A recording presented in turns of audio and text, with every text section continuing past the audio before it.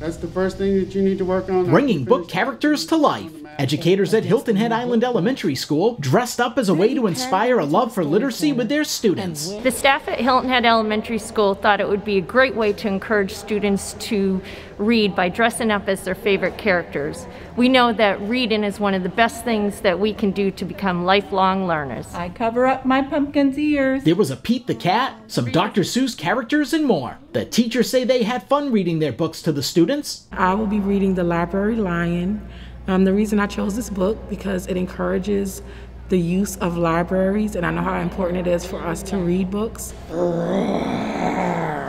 I dressed as Harry Potter because I'm a big Harry Potter fan. I love going to Harry Potter and love going to the Universal Studios, love the books. I've read the books four times and I love teaching it in the classroom with the students. One staff member even dressed as a computer to share a book about our new normal. I'm a data specialist and my book is Good Morning Zoom. It is so appropriate for 2020. Good Morning Zoom is a parody of the popular book Good Night Moon, and it helps kids better understand the COVID 19 pandemic. At Hilton Head Island Elementary School, Ron Lopes, Beaufort County School District. The lion kept roaring.